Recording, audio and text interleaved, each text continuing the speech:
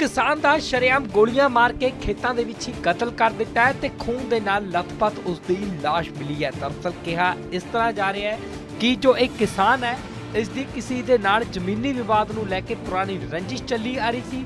ਉਸ ਪੁਰਾਣੀ ਰੰਜਿਸ਼ ਦੇ ਕਾਰਨ ਹੀ ਕਿਹਾ ਜਾ ਰਿਹਾ ਹੈ ਕਿ ਇਸ ਕਿਸਾਨ ਨੂੰ ਗੋਲੀਆਂ ਮਾਰ ਕੇ ਸ਼ਰੇਆਮ ਮੌਤ ਦੇ ਘਾਟ ਉਤਾਰ ਦਿੱਤਾ ਹਾਲਾਂਕਿ ਉੱਥੇ ਹੀ ਪਰਿਵਾਰਕ ਮੈਂਬਰ ਜਦੋਂ ਮੌਕੇ ਦੇ ਉੱਤੇ ਪਹੁੰਚਦੇ ਨੇ ਤਾਂ ਦੇਖਦੇ ਨੇ ਉੱਥੇ ਕਿਸਾਨ ਦੀ ਲਾਸ਼ ਪਈ ਹੁੰਦੀ ਹੈ ਤੇ ਨਾਲ ਹੀ ਦੋ ਗੋਲੀਆਂ ਦੇ ਖੋਲ ਵੀ ਬਰਾਮਦ ਹੋਏ ਨੇ। ਹਾਲਾਂਕਿ ਇਸ ਘਟਨਾ ਦੀ ਜਾਣਕਾਰੀ ਹੁਣ ਪੁਲਿਸ ਨੂੰ ਵੀ ਦਿੱਤੀ ਗਈ ਹੈ। ਪੁਲਿਸ ਦੇ ਵੱਲੋਂ ਵੀ ਮਾਮਲੇ ਦੀ ਜਾਂਚ ਸ਼ੁਰੂ ਕਰ ਦਿੱਤੀ ਹੈ ਤੇ ਉੱਥੇ ਹੀ ਪਰਿਵਾਰਕ ਮੈਂਬਰਾਂ ਦਾ ਕਹਿਣਾ ਹੈ ਕਿ ਲਗਾਤਾਰ ਉਹਨਾਂ ਨੂੰ ਕਈ ਦਿਨਾਂ ਤੋਂ ਧਮਕੀਆਂ ਮਿਲ ਰਹੀਆਂ ਸਨ ਤੇ ਹੁਣ ਉਹਨਾਂ ਦੇ ਜੋ ਪਿਤਾ ਨੇ ਉਸ ਦਾ ਕਤਲ ਕਰ ਦਿੱਤਾ ਗਿਆ ਦੱਸਦੇ ਕਿ ਸ਼ਰੇਆਮ ਖੇਤਾਂ ਦੇ ਵਿੱਚ ਗੋਲੀਆਂ ਮਾਰੀਆਂ ਨੇ। ਹਾਲਾਂਕਿ ਇੱਥੇ ਸਵਾਲ ਆਪਣੇ ਆਪ ਦੇ ਵਿੱਚ ਵੱਡਾ ਇਹ ਵੀ ਖੜਾ ਹੁੰਦਾ ਹੈ ਕਿ ਇੱਕ ਪਾਸੇ ਤਾਂ ਚੋਣ ਜਾਬਤਾ ਲੱਗੀ ਹੋਈ ਹੈ, ਦੂਜੇ ਪਾਸੇ ਜਿਨ੍ਹਾਂ ਦੇ ਕੋਲ ਵੀ ਅਸਲਾ ਹੁੰਦਾ ਉਹਨਾਂ ਨੂੰ ਅਸਲਾ ਜਮ੍ਹਾਂ ਕਰਵਾਉਣ ਦੇ ਲਈ ਕਿਹਾ ਜਾਂਦਾ ਹੈ। ਪਰ ਆਖਰ ਇਹ ਗੋਲੀਆਂ ਕਿਸ ਦੇ ਵੱਲੋਂ ਮਾਰੀਆਂ ਗਈਆਂ ਨੇ? ਇਹ ਹਲੇ ਜਾਂਚ ਦਾ ਵਿਸ਼ਾ ਹੈ, ਪਰ ਕਿਹਾ ਜਾ ਰਿਹਾ ਹੈ ਕਿ ਪੁਰਾਣੀ ਰੰਜਿਸ਼ ਜਿਨ੍ਹਾਂ ਦੇ ਨਾਲ ਸੀ, ਉਹਨਾਂ ਦੇ ਵੱਲੋਂ ਹੀ ਇਸ ਵਾਰਦਾਤ ਨੂੰ ਅੰਜਾਮ ਦਿੱਤਾ ਹੈ। ਤਾਂ ਮਾਮਲਾ ਤਰਨ ਤਾਰਨ ਤੋਂ ਸਾਹਮਣੇ ਆਇਆ ਹੈ। ਫਿਲਹਾਲ ਮੌਕੇ ਦੇ ਉੱਤੇ ਪੁਲਿਸ ਪਹੁੰਚੀ ਹੈ ਤੇ ਮਾਮਲੇ ਦੀ ਜਾਂਚ ਸ਼ੁਰੂ ਕਰ ਦਿੱਤੀ ਗਈ ਹੈ। ਇਹ ਸਰ ਮੇਰੇ ਡੈਡੀ ਦੇ ਗੋਲੀਆਂ ਵੱਜੀਆਂ। ਇਹ ਸਾਡਾ ਪੈੜੀ ਜੀ ਦਾ ਝਗੜਾ ਸੀ ਵੀ ਅਸੀਂ ਪੈ ਲਈ ਸੀ ਉਹਦਾ ਕਰਕੇ ਉਹ ਪਹਿਲਾਂ ਵੀ ਸਾਨੂੰ ਧਮਕੀਆਂ ਦਿੰਦੇ ਸੀ ਵਿਰੋਧੀ ਪਾਰਟੀ ਉਹਦਾ ਕਰਕੇ ਉਹਨਾਂ ਗੋਲੀਆਂ ਮਾਰੀਆਂ ਜੀ। ਇਹ ਪਤਾ ਲੱਗਾ ਕਿੰਨੀਆਂ ਗੋਲੀਆਂ ਵੱਜੀਆਂ? ਹਾਂਜੀ ਦੋ ਗੋਲੀਆਂ ਵੱਜੀਆਂ ਜੀ। ਡੈਥ ਹੋ ਗਈ ਉਹਨਾਂ ਦੀ ਹਾਂਜੀ।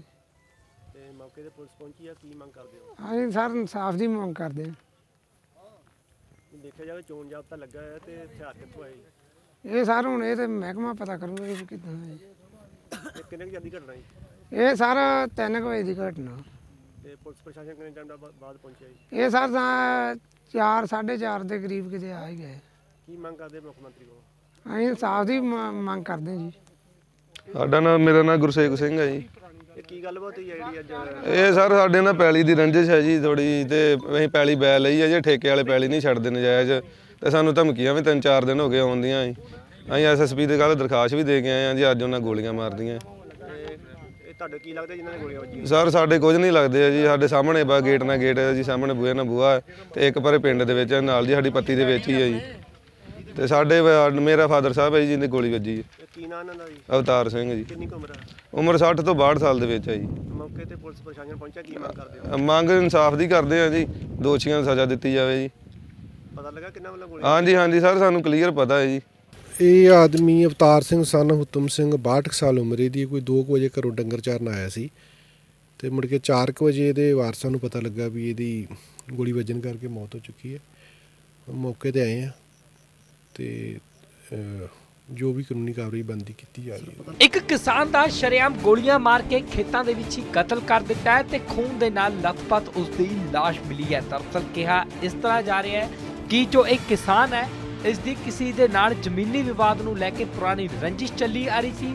ਉਸ ਪੁਰਾਣੀ ਰੰਜਿਸ਼ ਦੇ ਕਾਰਨ ਹੀ ਕਿਹਾ ਜਾ ਰਿਹਾ ਕਿ ਇਸ ਕਿਸਾਨ ਨੂੰ ਗੋਲੀਆਂ ਮਾਰ ਕੇ ਸ਼ਰੇਆਮ ਮੌਤ ਦੇ ਘਾਟ ਉਤਾਰ ਦਿੱਤਾ। ਹਾਲਾਂਕਿ ਉੱਥੇ ਹੀ ਪਰਿਵਾਰਕ ਮੈਂਬਰ ਜਦੋਂ ਮੌਕੇ ਦੇ ਉੱਤੇ ਪਹੁੰਚਦੇ ਨੇ ਤਾਂ ਦੇਖਦੇ ਨੇ ਉੱਥੇ ਕਿਸਾਨ ਦੀ ਲਾਸ਼ ਪਈ ਹੁੰਦੀ ਹੈ ਤੇ ਨਾਲ ਹੀ ਦੋ ਗੋਲੀਆਂ ਦੇ ਖੋਲ ਵੀ ਬਰਾਮਦ ਹੋਏ ਨੇ। ਹਾਲਾਂਕਿ ਇਸ ਘਟਨਾ ਦੀ ਜਾਣਕਾਰੀ ਹੁਣ ਪੁਲਿਸ ਨੂੰ ਵੀ ਦਿੱਤੀ ਗਈ ਹੈ।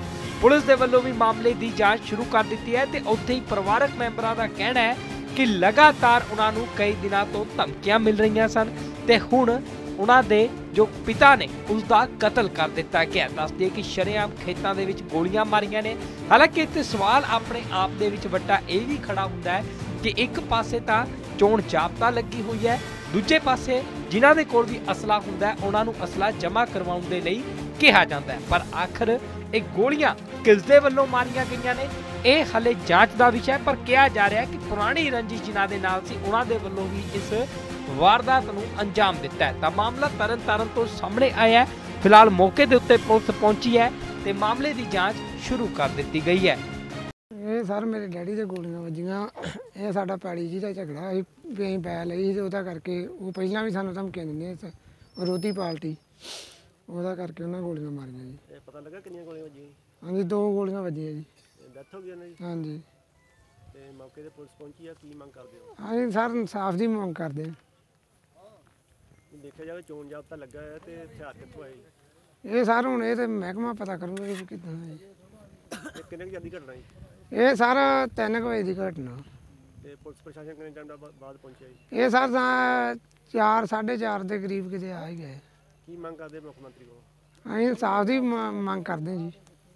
ਸਾਡਾ ਨਾਮ ਮੇਰਾ ਨਾਮ ਗੁਰਸੇਵ ਸਿੰਘ ਹੈ ਜੀ।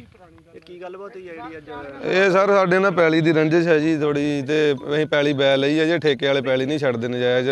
ਤੇ ਸਾਨੂੰ ਧਮਕੀਆਂ ਵੀ ਤਿੰਨ ਚਾਰ ਦਿਨ ਹੋ ਗਏ ਆਉਂਦੀਆਂ ਜੀ। ਅਸੀਂ ਐਸਐਸਪੀ ਦੇ ਕੱਲ ਦਰਖਾਸਤ ਵੀ ਦੇ ਕੇ ਆਏ ਹਾਂ ਜੀ ਅੱਜ ਉਹਨਾਂ ਗੋਲੀਆਂ ਮਾਰਦੀਆਂ।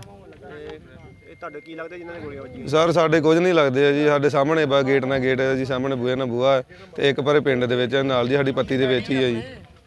ਤੇ ਸਾਡੇ ਵਾ- ਮੇਰਾ ਫਾਦਰ ਸਾਹਿਬ ਹੈ ਜੀ ਜਿਹਦੀ ਗੋਲੀ ਵੱਜੀ ਹੈ। ਇਹ ਕੀ ਨਾਂ ਇਹਨਾਂ ਦਾ ਜੀ? ਅਵਤਾਰ ਸਿੰਘ ਜੀ। ਕਿੰਨੀ ਕੁ ਉਮਰ ਹੈ?